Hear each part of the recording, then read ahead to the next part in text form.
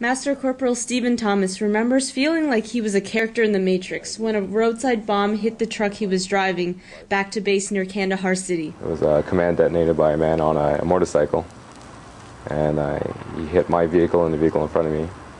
Uh, my vehicle was damaged, but we were still able to carry on with our mission. The vehicle in front of us was a G-Wagon, which caught on fire, and uh, I actually thought the uh, crew members have, uh, uh, were, were actually killed in the blast when myself and Corporal Malkowski got out and uh, inspected everything.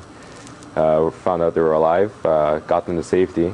For that courageous act, Thomas was awarded the Medal of Bravery, which he will proudly wear this weekend during the 150th birthday of his regiment, the Queen's Own Rifles of Canada. We're the longest running active infantry, infantry regiment in the country. The anniversary officially takes place on Monday, but there will be a parade along Bloor Street East on Sunday and a flag raising ceremony at City Hall on Monday morning, the date the regiment was founded in 1860. This weekend is the, uh, the big reunion celebration uh, in Toronto, where the active regiment still exists. The regiment has deployed soldiers to Ridgeway, the Northwest Rebellion, South Africa, Korea, and now Afghanistan.